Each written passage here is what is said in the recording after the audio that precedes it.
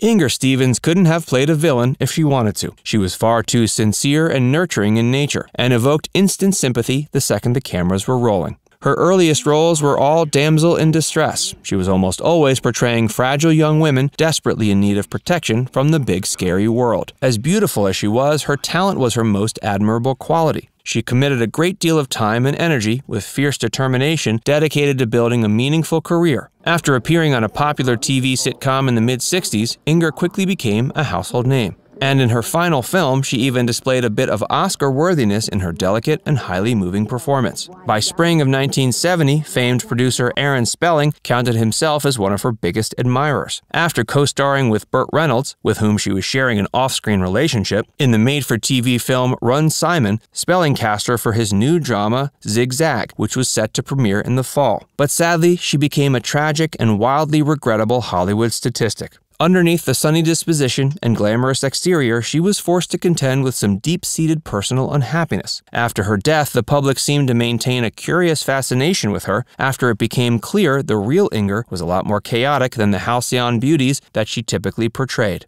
After her sudden and unexpected death, the public suddenly wanted to know everything about her. At the least, they wanted to make sense of her life and puzzling death. An insider's perspective. William T. Patterson published his biography, The Farmer's Daughter Remembered, the biography of actress Inger Stevens, in 2000. In it, he provided some answers to some of the more disturbing, lingering questions, but not all of them. Patterson chose to take a more positive approach to opening up her story to the public. He staked the claim that the majority of information that had been previously published about Inger was either untrue or highly distorted. Hey, if you're enjoying this video so far, make sure you give it a like and subscribe to Facts if you haven't already. And stick around to see why many people think Inger Stevens' death was a murder, not a suicide. Inger's painful early years. The root of Inger's unhappiness likely can be traced back to her troubled childhood. She was born Inger Stensland in Stockholm, October 18, 1934. She was named after Ingeborg, a Norse princess. She was the daughter of Per Gustaf, a high school teacher, and Lisbeth Stensland. Her parents got married six months before she was born. She had a brother named Ola, who also went by Carl, and another named Peter, who were born two and four years after her. Inger was a shy, quiet girl who was first drawn to acting after witnessing her father's performance as Ebenezer Scrooge in a local amateur theater show. When she was four, her family moved to Mora, which is about 200 miles northwest of Stockholm. Although just two years later, her mother abandoned the family to go run off with another man. Lisbeth ended up marrying that man and they moved back to Stockholm. She ended up taking her youngest son Peter with her in the move as well. Confused and angry, Inger and Ola stayed behind with their stern and emotionally distant father. When World War II broke out, their dad decided to promptly move to the United States. But he didn't take his kids. He left them in the care of the family maid, basically forcing them to fend for themselves. Eventually, Inger and her brother moved in with their aunt, stage actress Karin Stensland Junker, and her family in Lidingö. After finalizing his divorce from his wife through the mail, Per Stensland summoned his two oldest children in 1944 after marrying an American woman and finding steady work as an educator at Columbia University. He then relocated the family to Manhattan, Kansas. Inger began to break free from her broken family. Inger was unhappy with her home life and ran away from home when she was 16. She found her way to Kansas City, where she found work as a waitress and eventually as a dancer in a burlesque show. Her father eventually tracked her down and dragged her back home, where she graduated from high school before leaving yet again for New York City. While she lived in the Big Apple, she met her first husband, Anthony Soglio. He was a talent agent who signed her to a contract and changed her last name to Stevens so it sounded more American. They got married in 1955, but separated a few months later. They finalized their divorce in 58. It was believed for the longest time that she never remarried, although speculation about her romantic relationship was a popular subject while she was alive, and after her death, it was discovered she had secretly married another man. Inger's future looked bright and promising. After being signed to a contract, Inger's career started picking up steam. She ended up finding success in both TV and film, which was unusual at the time. She appeared in The Farmer's Daughter for three years and in hit shows like Bonanza, The Alfred Hitchcock Hour, Route 66, and The Twilight Zone. In terms of films, she landed leading roles in movies like A Guide for the Married Man, Hang 'em High, Five Card Stud, and Madigan. Inger's last movie was the made for TV film Run, Simon Run. She starred in that project with Burt Reynolds. It was about a Native American seeking revenge for his brother's murder. Inger played a social worker who eventually falls for Reynolds and helps him find his enemies. Not only did she and Burt have chemistry on screen, but they had a romantic fling behind the scenes as well. In 1970, Inger had 15 major film credits to her name and an equal quantity of television and theatrical roles under her belt. She was overjoyed when Aaron Spelling chose her to co star in a new TV series, The Most Deadly Game, which cast her as a criminologist solving unusual murders. When the series was gearing up to begin production, Inger seemed busy, content, and successful. Inger's death sent shockwaves through the industry.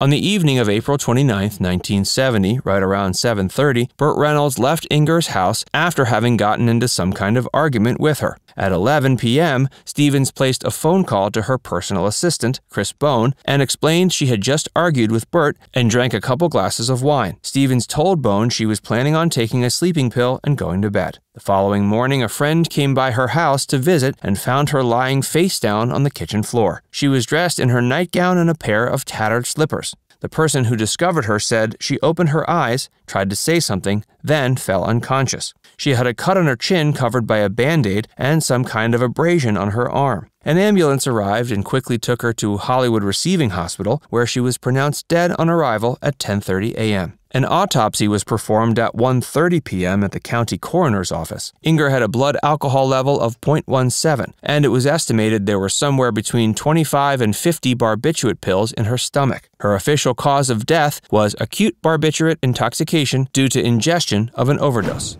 The plot thickens. A man named Ike Jones stepped forward to claim the body, claiming to be Inger's husband. Inger's brother Carl and her father and stepmother came to town for her funeral, and a private memorial service was held May 4th. The following day, Inger's body was cremated and her ashes were spread into the Pacific Ocean. It was later revealed that Inger and Ike had gotten married in Tijuana, Mexico on November 18, 1961. Jones was an athlete who attended UCLA. He was a multi talented individual who worked as a musician, actor, and movie producer. Ike and Inger kept their marriage a secret in fear that it might potentially damage Stevens' career. Jones was black, and marriages between black men and white women were not very socially acceptable back in the 60s. Inger's family and close friends remained adamant in their belief that she did not commit suicide. They point out that until the morning of her death, she gave every indication that she was relatively happy with life. She was focused on obtaining both her short and long term career goals, was getting the kinds of roles she wanted, and was staying in the public eye. Sure, she was having some relationship problems, but that wasn't anything new. And on top of that, she had already worn off suicide as a solution for her problems. Inger's assistant, Chris Bone, was also skeptical that she killed herself. She believed that if Inger really was going to kill herself, she would at least worn makeup and dressed up a bit. Stevens had previously stated that after her first suicide attempt, she would never go down that road again. Biographer William Patterson also doubts the official story. After he examined the physical evidence in the room, he noted the bottle of pills that were found in her room did not belong to her, and the cut on her chin and abrasion on her arm seemed to indicate someone had become physically violent with her shortly before her death. After looking at the physical evidence in the kitchen, it appeared as if she was in the middle of making her favorite sandwich when she died. Patterson has a murder suspect in mind, but refuses to disclose their name for legal reasons. His theory is that someone who knew her came over and forced her to swallow enough pills to end her life. The motive, however, for her alleged murder is unclear and can be assumed to be personal. Now it's time to hear from you. In the comments section below, let us know whether you think Inger Stevens killed herself or whether you think she was murdered. And before you move on, make sure you give this video a like and subscribe to Facts Verse if you haven't already. Click the bell icon to stay updated on all our latest content.